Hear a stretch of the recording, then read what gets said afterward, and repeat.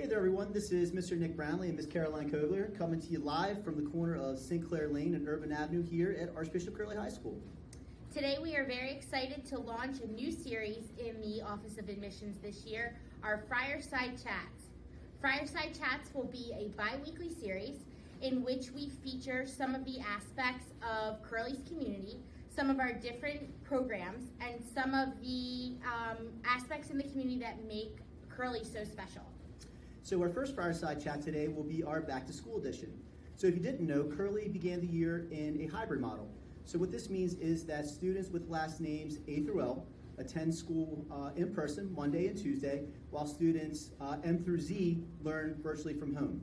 On Wednesdays, our whole community is virtual, and our uh, our teachers will host uh, office hours for our students, and we take the time to clean the school. And then on Thursdays and Fridays, students with the last name M through Z attend in person, while students A through L learn virtually from home. It's been a great start to the school year so far, and we could not be more excited to have the boys back on campus. Um, it's been really nice to see their smiling faces every day, uh, even through the masks that they're wearing every day. Um, and we hope that you enjoy our first edition of our Friarside Chats. Curley welcomes you back to school.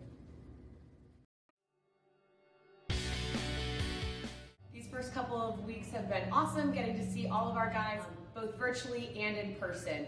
It's been really nice to still get to teach one class and foster discussions between the guys who are at home and the guys who are still in our classrooms.